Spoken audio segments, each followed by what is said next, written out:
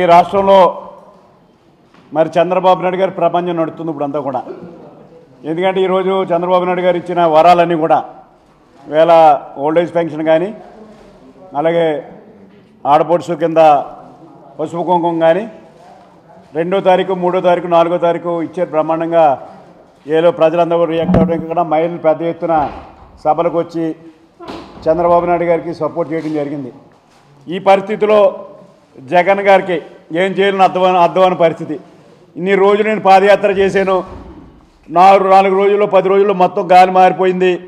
మహిళలందరూ కూడా ప్రజలందరూ కూడా అన్ని వర్గాల ప్రజలు ఒక మహిళలే కాదు వృద్ధులే కాదు రైతులే కాదు కార్మికులే కాదు అన్ని వర్గాల ప్రజలు కూడా యూటర్న్ తీసుకుని మొత్తం చంద్రబాబు నాయుడు గారు మద్దతు పలకాలని పూర్తిగా సపోర్ట్ వెళ్ళారు. నా పరిస్థితి ఏంటన్నది ఆయన ఆలోచనలో పడ్డాడు. ఇలా చేత ఇవాళ డిమానిటర్ అయిపోయి ఇవాళకు ఒక ఈసీ దగ్గర కలిసి కొన్ని క- కొన్ని మెమోరాండం ఇవ్వడం జరిగింది. మరి ఆయన ఏం చెప్పాడంటే ఈరోజు మరి డీజీపీ గారు మరి డీజీపీ గారి మీద కంప్లైంట్ చేయడం జరిగింది. మరి డీజీపీ మరి డీజీపీ అన్నప్పుడు రాష్ట్రంలో డీజీపీ పక్షపాతంగా ఉండడు ఆయన.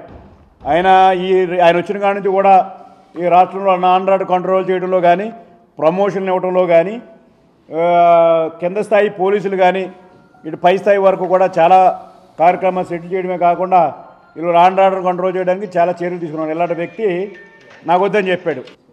రాష్ట్ర రాష్ట్ర పోలీసుల మీద నమ్మకం లేదని చెప్తాడు ఆయన. అందుకే ఆయన కోడికత్తి వైజాగ్లో జరిగిన కోడికత్తి డ్రామాలో ఆయన హైదరాబాద్ హైదరాబాద్ వెళ్ళి కంప్లైంట్ ఇవ్వడం జరిగింది. మరి ఈవేళ ఒకే వర్గానికి మరి పోస్టింగ్స్ ఇస్తున్నారని చెప్పాడు. ఇప్పుడు రాష్ట్రంలో లాండ్ ఆర్డర్లో పోస్టింగ్స్ అంటే రైట్ మ్యాన్ రైట్ పొజిషన్లో చంద్రబాబు నాయుడు గారు ఇవ్వడం జరుగుతూ రైట్ మ్యాన్ రైట్ పొజిషన్లో పెడుతున్నాం ఎందుకంటే ఇవాళ ఎన్నికలు రాబోతున్నాయి ఎన్నికలు బలంగా ఉండాలి అనే ఉద్దేశంతో మేము రైట్ మ్యాన్ రైట్ పొజిషన్లో పెట్టాం. ఆయన చెప్పేదంతా వాస్తవం కాదు. మూడు వాటర్ లిస్టులు ఓటర్లన్నీ కూడా మా తారుమారు చేశారన్నాడు. ఎక్కడ కూడా మీరు మీరు కూడా చూస్తున్నారు ఎక్కడ కూడా అందులో ఎవడో కూడా కళ చేసుకోలేదు. ఎందుకంటే ప్రజలందరూ నూటికి ఎనభై మంది మా పక్కన ఉన్నప్పుడు ఓటర్ లిస్ట్ ముట్టుకోవాల్సిన పరిస్థితి ఎవరికీ లేదు ప్రభుత్వానికి లేదు. పారదర్శకంగా ఓటర్ లిస్టులు అన్నీ కూడా కలెక్టర్ ఆధార్ ఆధ్వర్యంలో ఓటర్ లిస్టులు కరెక్ట్గా జరిగినాయి. అందులో వాస్తవం కాదు. ఈయనకి ఏంటంటే ఈరోజు రాష్ట్రం మీద నమ్మకం లేదు.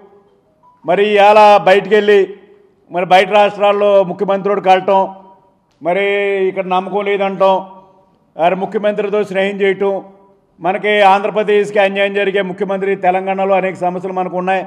ముఖ్యమంత్రి మనం మొదటి నుంచి కూడా జీ- విభజన చట్టంలోని అనే అంశాలన్నీ కూడా మరి కేసీఆర్ విభేదించడం అలాంటి వ్యక్తులను స్నేహం చేయటం. అంటే ఈ రాష్ట్రానికి మరి పట్టణ విధంగా నాకేదో ముఖ్యమంత్రి కావాలన్నా కానీ రాష్ట్రం ఏమైపోయినా బాధ లేదన్న పద్ధతిలో ఇవాళ జగన్ గారు వెళ్తున్నారు ఇవాళ. జగన్ గారు మరి ఇవాళ మరి ఈసీ కంప్లైంట్ ఇవ్వడంలో పూర్తిగా ఇవాళ రాష్ట్రం అంతా మారిపోయింది. చంద్రబాబు నాయుడు గారు పక్క పోయారు. జనం అందరూ కూడా అన్ని వర్గాల ప్రజలు కూడా వెళ్ళిపోయారు అని భయంతో ఇవాళ ఒక కంప్లైంట్ ఇచ్చాడు. ఇవాళ జగన్ గారు తెలుసుకోవాల్సింది ఒకటి. మీరు ప్రతిపక్ష నాయకుడిగా అసెంబ్లీకి మానేశారు మీరు. సమస్యలు లేవనెత్తడం మానేశారు. వ్యక్తిగత విమర్శలు తప్పించి రోజులు లేదు మీకు. ఇవాళ ప్రజలు కూడా గుర్తించారు. అసెంబ్లీకి వెళ్ళినోడికి ముఖ్య పదవి ఎందుకు? మీకు అని చెప్పి ఇవాళ ప్రజలు కూడా డిసైడ్ అయ్యారు. కనీసం ప్రతిపక్ష హోదా కూడా రేపు భవిష్యత్తులో ఇవ్వలేని పరిస్థితి ఇవాళ ఆంధ్రప్రదేశ్లో ఉంది. మరి జగన్ గారు మరి ఏదో చెయ్యాలి అని చెప్పి ఉద్దేశంతో ఈరోజు ఎన్నికల కమిషన్కి వెళ్ళారు.